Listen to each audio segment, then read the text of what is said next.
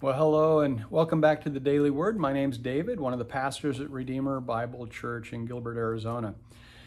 Now, for those of you who join all the time faithfully and daily, you hear that opening phrase every day, right? Six days a week at least from one of us as pastors. But I do want to take just a moment today, bear with me, because if you're new here today, we want to welcome you. Um, not everybody's joining every day. Um, and so, if this is your first time, these are a ministry of the church. We love to come alongside the body of Christ at Redeemer and, and have this time daily to just look at, at small portions of the Word of God. And so, we're in Acts 10 today. We've been coming through the entire New Testament this year. And so, if it's your first time, first of all, welcome. We love that you're with us. Uh, the other people watching of Redeemer love having you with them watching. Um, but feel free to go back and even catch up. Um, there's a lot of catch up to do. We've come through all four Gospels and now into Acts, but there's a lot of material there that we hope and pray is a blessing to you. So just wanted to kind of open us today like that. Let's get on with Acts chapter 10. Now, if you remember, uh, yesterday we focused on uh, chapter 9 and especially verses 4 and 5, Paul's radical conversion story. And it's absolutely right, again, to look at his conversion story as what it meant to him and conversion itself and how God acted and worked in that. Christ there on the road with Paul. But we really saw something else as well. We saw how Christ views his church, the oneness of his body, and what, what that looks like in his eyes. So today in chapter 10, especially as a Gentile, I'm not of Jewish descent, and that's probably many of you watching. So this is great news today. This is important, great news today. And we see in Acts chapter 10 quite a bit of narrative. We start with a little bit about Peter and Cornelius and their interaction, but then we get right into a, a pretty famous story from, from Acts, and that's Peter's vision.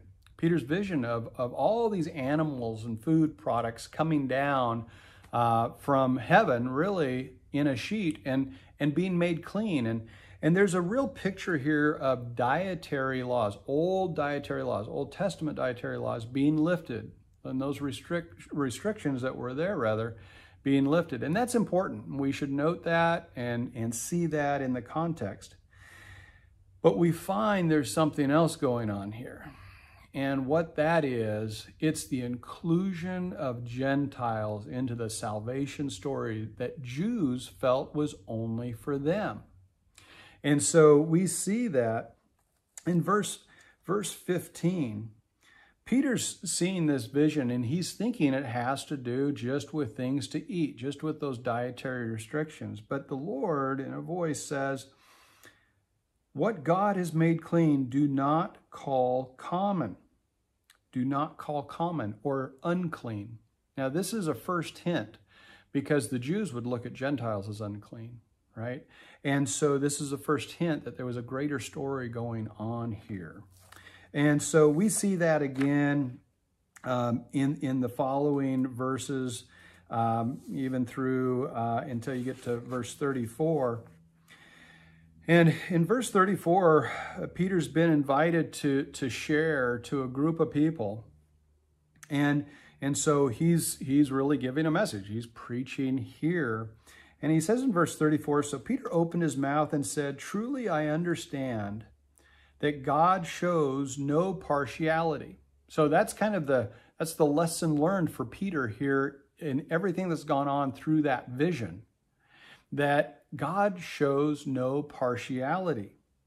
Now, we know and we've covered as a church so much around what we've seen the past couple years in worldview, in our own society, whether local or national or even global, social justice, right? Um, postmodernistic thought, Marxism, things that occupy the secular world now in their view of what makes right and what makes wrong. But with God, there's no partiality. Now, there's favor with God. God certainly had favor upon Israel. He certainly chose Israel to be an instrument to do specific work for his redemptive story in Christ, to protect his lineage, to protect him to the gospel story that was occurring, right? What we just went through, through the gospels. But there's no partiality. There's no partiality. And so, so we, we need to see that from a, from a scriptural per perspective here. And then he says in, so, so verse 34 again, I got talking there too much. So Peter opened his mouth and said, Truly I understand that God shows no partiality. Verse 35, but in every nation, anyone who fears him and does what is right is acceptable to him. So this is, this is a simple but profound truth that is not based on, on your birth. It's not based on your ethnicity. It's not based on your social standing. We are all desperately in need of a Savior it doesn't ma matter race, ethnicity, gender, social placement, not at all. We all come into this world needing desperately a Savior. For our souls are depraved, totally depraved. Apart from, apart from His grace, there's nothing we can offer, nothing we can do to satisfy this, this infinitely high payment that needs to be made because we're unholy and he's holy. And that's the gospel. That's what Christ did on the cross. He paid this payment. We call that an atonement. He made a completely satisfying atonement or propitiation. 1 John 4:10 tells us. Again, I'm rolling into the gospel. But but the gospel is so critical for all of us. No matter how much we believe, we still need the gospel. Even as Christians, we need to be refreshed by it. And so, so seeing that there's no partiality, I mean, that, that means we have a level playing field. All have fallen short of the glory of God, the Bible tells us. We're all dead before he makes us alive, right? So we have a common standard. There's no partiality there. And it's through grace and mercy alone, not anything that I did, not any way I was born or how I look or what I, anything. I can't offer anything to him that pays for my own salvation. And so it's important, this verse 34, that there's no partiality. Because if there was, it would be based on something else, something we did. So hopefully, hopefully you get that.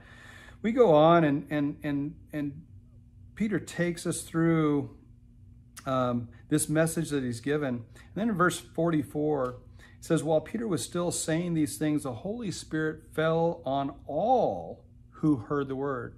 All is important there. In verse 45, and the believers from among the circumcised, the Jews, who had come with Peter were amazed because the gift of the Holy Spirit was poured out even on the Gentiles.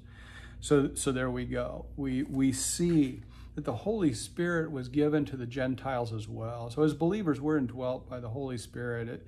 And back to chapter one, think of the oneness of sharing the very same Holy Spirit. That I don't get one Holy Spirit, you get another Holy Spirit, but in Christ we are one, made one by a single indwelling Holy Spirit. Um, so just a great chapter to see um, kind of a practical, dietary, historical picture of what happened in Peter's vision, but also really a gospel, a foundational truth of the gospel that there's no partiality in God, in Christ, in the work of the gospel, but that it is for all who believe and repent, all who believe and repent, not based on anything that we bring that's great news. I hope you see it as great news. I hope that's been a little refreshing today. And I'll see you tomorrow as we look at Acts chapter 11. Take care.